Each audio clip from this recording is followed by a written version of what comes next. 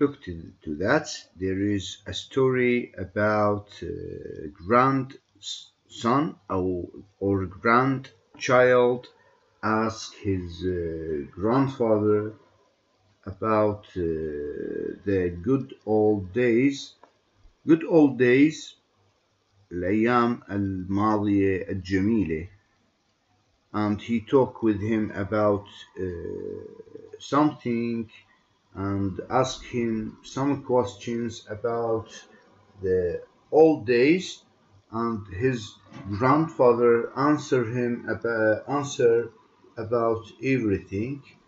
And I now I want from you to listen to the record to and uh, after listen to the record uh, I want uh, give me a summary or uh, retell this story in your language uh, and what is understood from it uh, and everything uh, and discuss about it tomorrow about uh, about that. I will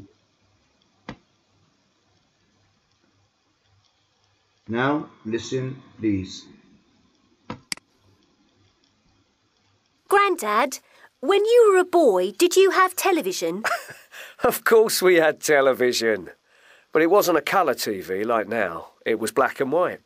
and were there lots and lots of channels? How many TV channels were there? Only two, but that was enough. We loved it. And there weren't programmes all day long. Nothing in the morning and nothing in the afternoon. Oh, no. what time did programmes begin? At 4:30 when children's TV started, there were some great programs for us children, I can tell you. We had real stories in those days. Did your mum and dad give you pocket money? Yes, but I worked for it. I cleaned the kitchen and did the washing up. We didn't have dishwashers in those days. Oh, that's terrible. How much pocket money did you get? My dad gave me sixpence a week. That's two and a half p these days. He didn't give me much, did he? But we bought comics and sweets. What sort of comics did you buy? Well, I bought a comic called The Eagle, and it was full of adventure stories. And Superman. That was really exciting. Wow. Did you have holidays? Yes, but not like nowadays. People didn't go abroad. I never took a plane like people do now. It was too expensive. Where did you go on holiday? To the seaside in England. How did you get there? My father drove. We had a Ford car. A Ford Prefect, it was. we went to the same place every year. Why did you go to the same place? Why didn't you go somewhere different?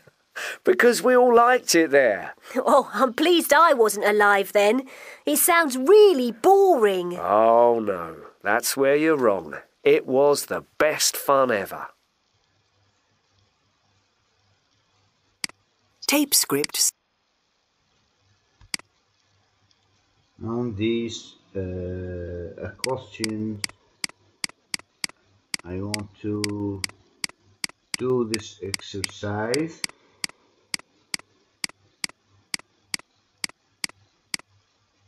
I want to do this exercise and I will make you again listen to this video and put the uh, y YH question.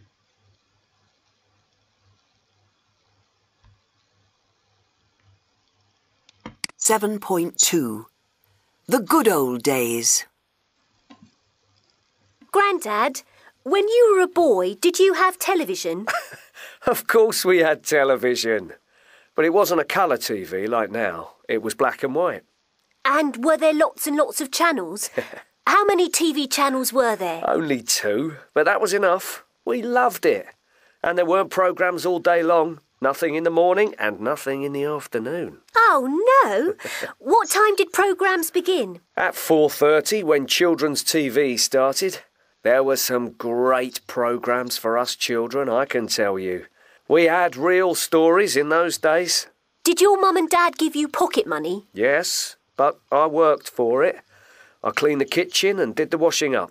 We didn't have dishwashers in those days. Oh, that's terrible. How much pocket money did you get? My dad gave me sixpence a week. That's two and a half p these days. He didn't give me much, did he? But we bought comics and sweets. What sort of comics did you buy? Well, I bought a comic called The Eagle, and it was full of adventure stories. And Superman. That was really exciting. Wow. Did you have holidays? Yes, but not like nowadays. People didn't go abroad. I never took a plane like people do now. It was too expensive. Where did you go on holiday? To the seaside in England. How did you get there? My father drove. We had a Ford car. A Ford Prefect it was. we went to the same place every year. Why did you go to the same place? Why didn't you go somewhere different? Because we all liked it there. Oh, I'm pleased I wasn't alive then. It sounds really boring. Oh no, that's where you're wrong. It was the best fun ever. Thank you very much. Goodbye. And do this exercise because the exercise of listening is very important.